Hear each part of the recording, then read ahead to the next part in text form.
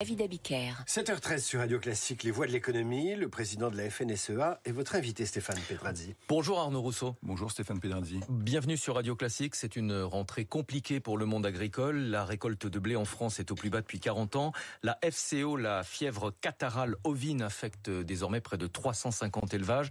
Et le vide politique, évidemment, n'arrange rien puisque plusieurs dossiers ont été euh, mis à l'arrêt par la dissolution de l'Assemblée nationale. Vous dites, euh, il y a une incertitude dramatique en cette rentrée pour le secteur agricole. Est-ce que vous avez le sentiment que les protestations, les manifestations qu'on avait connues au mois de janvier dans le monde agricole peuvent redémarrer?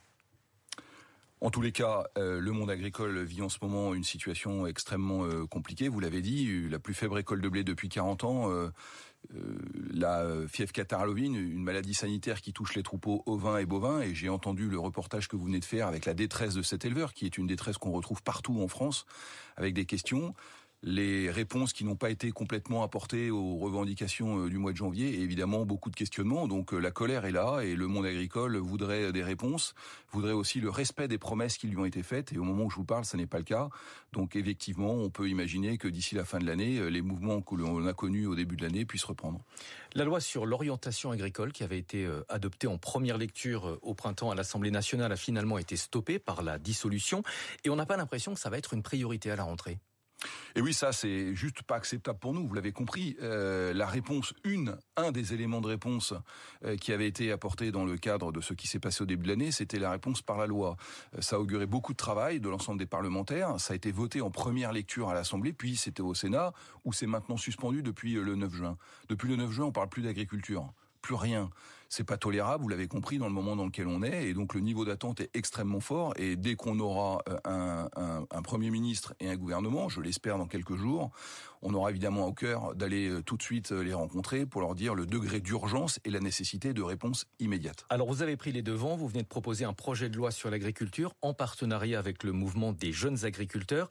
Parmi les propositions, je cite, garantir le revenu des agriculteurs, proposer un métier attractif, répondre à l'envie envie d'entreprendre. Est-ce que ça veut dire très concrètement qu'aujourd'hui les agriculteurs ne parviennent toujours pas à vivre correctement de leur métier? Oui, vous savez, on en a perdu près de 600 000 en 20 ans, euh, et c'est un métier qui est extrêmement euh, difficile en ce moment, avec des sujets de revenus qui sont euh, chroniques et sur lesquels on a besoin d'apporter des réponses. L'objectif, vous savez, il est simple, hein, c'est de permettre à chaque Français de pouvoir se nourrir avec une alimentation de qualité produite sur le territoire national, même si on continuera à rester ouvert à des échanges.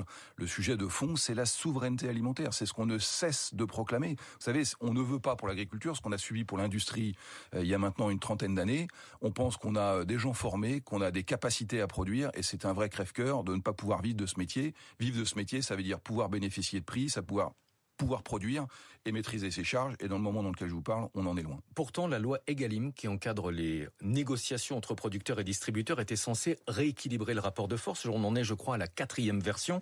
Euh, est-ce qu'il faut encore la faire évoluer ou est-ce que vous considérez que c'est un échec et qu'il faudrait peut-être tout remettre à plat?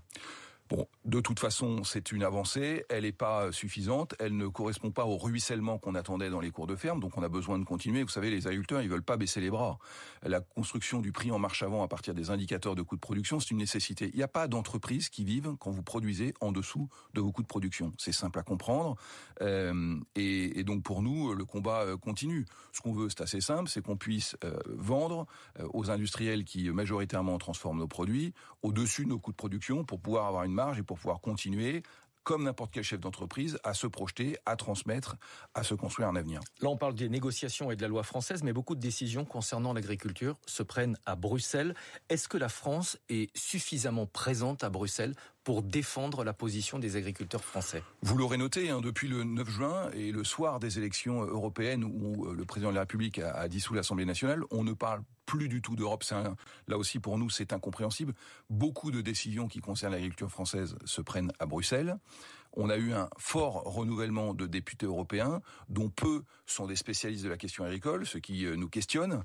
Et on a évidemment besoin de reprendre la main. Reprendre la main en ce moment, notamment sur la nomination du collège des commissaires et singulièrement celui euh, qui va s'occuper euh, de l'agriculture. Et ça, évidemment, on souhaiterait que la France soit beaucoup, beaucoup plus engagée que ce qu'elle est aujourd'hui, même si, sur le plan professionnel, nous avons participé à la discussion sur la vision stratégique et qui s'est achevée il y a quelques jours la nomination du prochain commissaire européen à l'agriculture, là encore, on a pas l'impression que ça passionne les foules en France Non, ça n'intéresse personne. Ça n'intéresse personne. non seulement c'est important, mais c'est absolument décisif dans la vision euh, qui sera construite de l'agriculture des prochaines années. Vous savez, nous, on, s'est battu euh, contre le projet de Green Deal décroissant qui avait comme euh, objectif d'importer plus de d'ailleurs et de moins produire en Europe.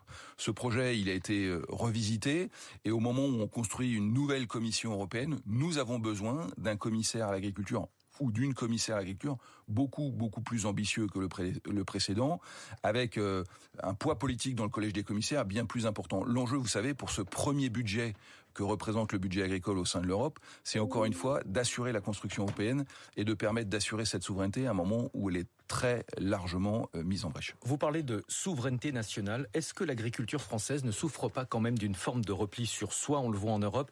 Dès qu'il y a une compétition avec d'autres pays, je pense notamment à l'Espagne, on le voit aussi dans la négociation des traités de libre-échange au niveau international.